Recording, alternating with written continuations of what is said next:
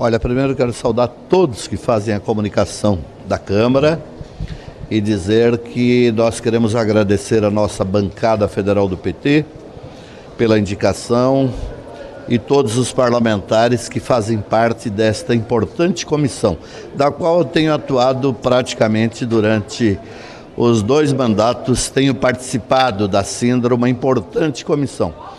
É, nesta comissão nós queremos debater todos os temas que serão trazidos pelos parlamentares, pela casa, verificar os projetos que já existem lá, quais são projetos também que tramitam e receber as demandas da sociedade brasileira para debater todos os temas referentes a esta comissão. Uma comissão ampla que tem muitas áreas que nós queremos debater, discutir para ajudar a construir aquilo que nós acreditamos, uma sociedade, né, um Brasil com soberania nacional, com desenvolvimento regional, com os cuidados que a nossa natureza, que a região amazônica precisa ter.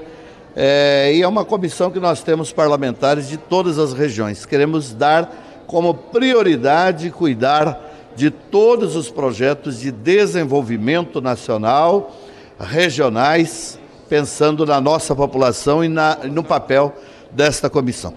Agora, deputado, um dos papéis das, das, comissões é justamente promover debates, né, audiências públicas e, e trazer para dentro da Câmara assuntos que estão aí é, atingindo os brasileiros ou no bolso, na vida, né? E a gente tem aí a questão das passagens aéreas, a gente tem a questão dos Yanomamis, né, que em conflito com garimpeiros lá no Amazonas. Então, como é que serão tratados esses assuntos? Olha, vários parlamentares nos procuraram já hoje para tratar desses assuntos, né?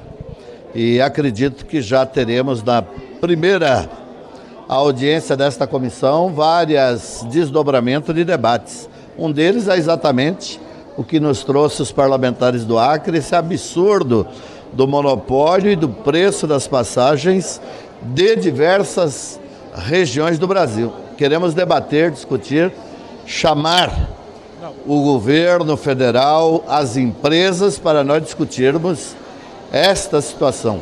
A questão indígena no Brasil é muito grave. Nós estamos acompanhando e vendo a situação dramática de ameaças de morte, de todo tipo de problemas que têm enfrentado os povos indígenas no Brasil, mas em especial na Amazônia.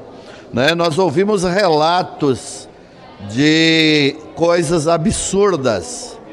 E nós temos vários parlamentares que atuam nesta região e nós queremos trazer sim a um tema atual, fortíssimo e importante para esta comissão. Enfim, essa comissão vai trazer todos os temas que os parlamentares nos eh, demandarem, mas especialmente da sociedade brasileira, para fazer audiências públicas, para buscar construir políticas públicas e para debater a importância do Brasil, da vida e de todos os temas, em especial temas que estão muito sofridos, principalmente nesse período com este atual governo.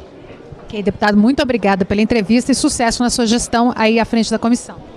Nós é que agradecemos e contamos sempre com esse espaço de bons profissionais que fazem a comunicação da Câmara é, e que a gente possa organizar grandes debates, grandes projetos e contribuir para melhorar cada vez mais o verdadeiro papel do Congresso Nacional, em especial da Câmara dos Deputados, que é legislar, debater, cuidar do nosso país num grande debate de construção com participação da sociedade brasileira. Muito obrigado.